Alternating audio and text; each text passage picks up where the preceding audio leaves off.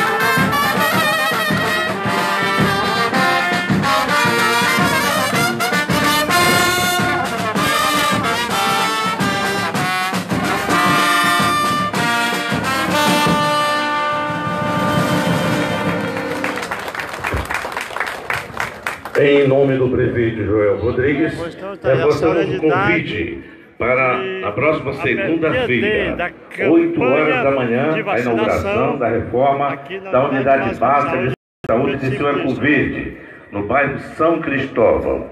Portanto, todos e todas sintam-se convidados e convidadas.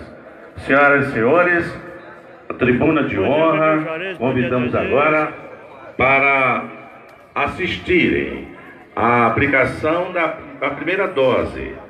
Nós estamos acompanhando É, aqui primeiras a três doses da vacina nessa- dia D Essa da campanha de vigésima campanha, oficialmente hoje.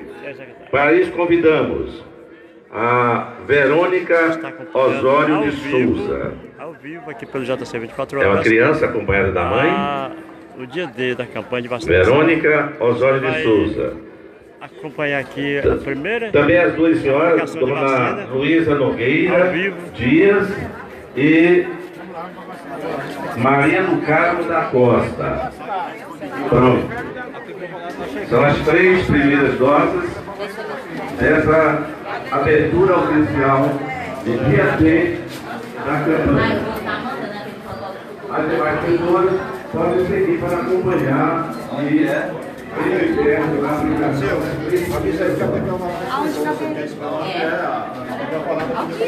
Nós estamos aqui ao vivo, né? Acompanhando aqui nossa amiga aí, Renato. Né?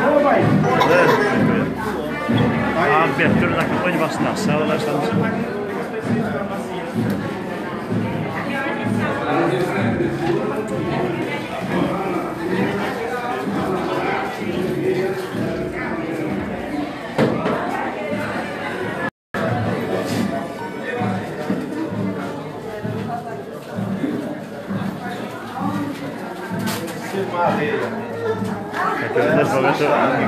Era aqui, aqui, acompanhando aqui a primeira criança a aqui, ó, ele é a secretária. Tem dois? Ela já tomou ano passado, né? Meire. Meire? Ela já tomou ano passado, né? Ela tomou ano passado. A presença aqui do gerente da Vereda Grande, João Reis, a presença do vice-prefeito Antônio Reis, os secretários municipais aqui presentes também, doutor, enfim, todo o corpo administrativo da Prefeitura Municipal aqui presente nesse momento que marca a campanha de vacinação da cidade. Aqui, A primeira mistura criada a presença do prefeito ao lado do vereador Salomão e da vereadora Daguia. Pode Santão, pode pode pode?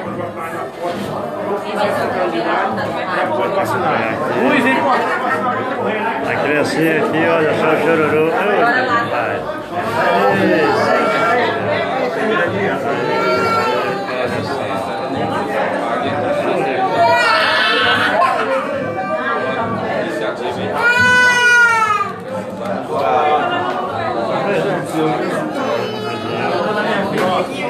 não deu pra tirar. Vai, baixa aí. E é o próximo. Eu mesmo. Batendo no. Por isso também Profetiano, vou pedir. Pela fala do locutor, a agenda lotada na área da saúde, né? Inauguração de postos. Queria que você fizesse um resumo aí do que foi feito e do que está previsto. É, ontem nós já estivemos no bairro de Ribeirão, já entregamos terceira unidade básica de saúde recuperada, reformada, para atendimento às pessoas. Segunda-feira, hoje nós estamos aqui no dia D da vacina, despertar de Floriano para que possamos cumprir a meta. Naturalmente é um trabalho essencial, preventivo e é preciso que a família também nos ajude nessa campanha. Temos uma meta a cumprir, temos vários casos.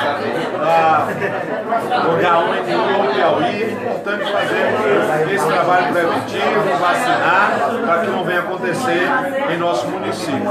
E segunda-feira, mais uma unidade básica de saúde vamos estar entregando ali no bairro São Paulo, totalmente reformada, reestruturada. Né? Também haverá entrega de cadeiras de roda, é, mostrando de que aquilo que nós estamos falando, de que nós estamos melhorando o atendimento na área de saúde, melhorando as unidades e que naturalmente algumas vão estar sendo apontadas com problema, mas a tranquilidade é que temos os investimentos, temos os recursos garantidos e que vamos reformar todas as unidades básicas de saúde, na zona urbana e na zona rural.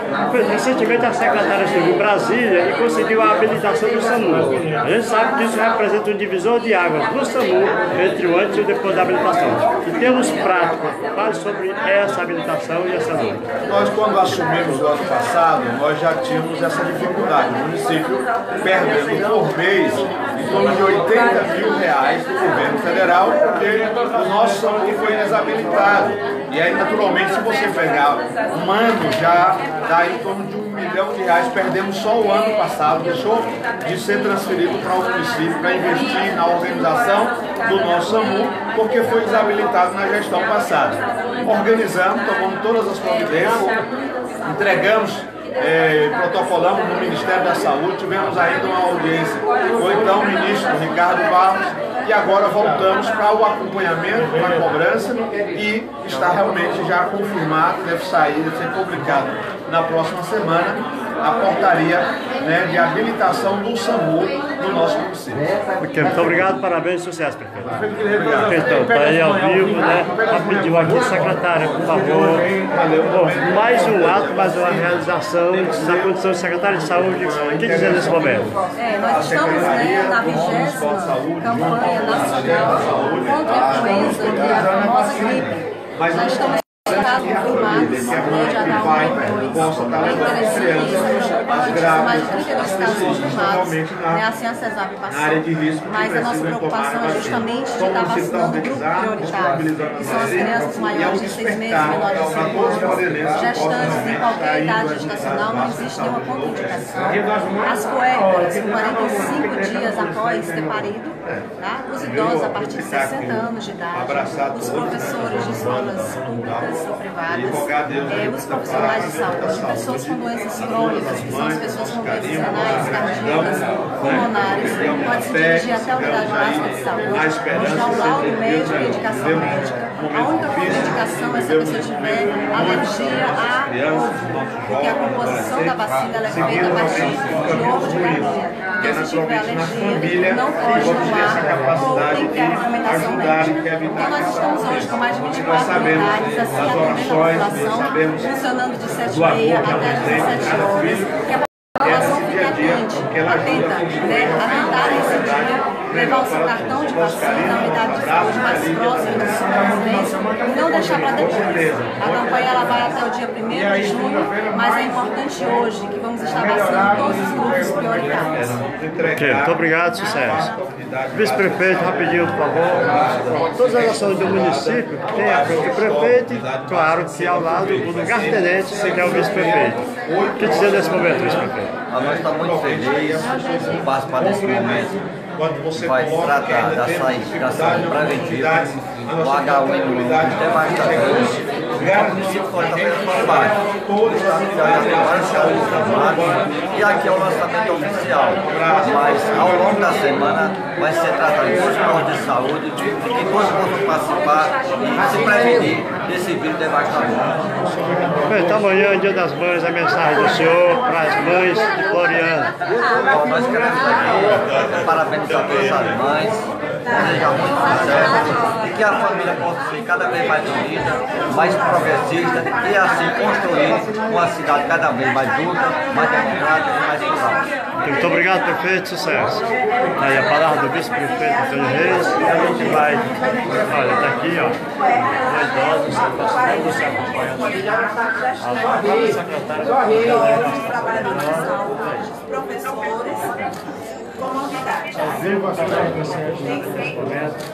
Eu quero também. Agora é eu. Bora, bora, bora. Tá morrendo de medo ali, ó. Sargento tá morrendo de medo, gente. Sargento tá com medo. Sargento tá com medo.